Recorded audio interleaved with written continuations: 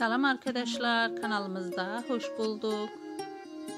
Ortaya Karışık kanalı yeni videoyla sizler için geldi arkadaşlar. Sizlere güzel oyuncularımız Özge Yağız ve Gökberk Demirci'nin muhteşem görüntüleriyle döndü arkadaşlar.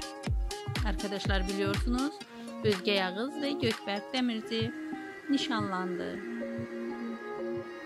Ve Gökberk Demirci ve Özge Yağız evlənmə qərarı aldı arkadaşlar.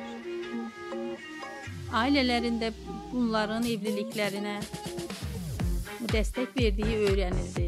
Hər kəsin maraq konusu olan Gökbər Təmirci və Özgə Yağızın düyünləri açandır. Arkadaşlar, Gökbər Təmirci və Özgə Yağızın düyünləri 2021 il ortalarında olacaqdır. Və şimdilik Özgə Yağız və Gökbər Təmircinin iş projelerinden konuşalım arkadaşlar. Gökberk Yemin, Yemin dizisinde 3. sezon başrolü üstlenmiştir arkadaşlar ve muhteşem performanslar ortaya çıktı. İyi seyirler, hoşçakalın.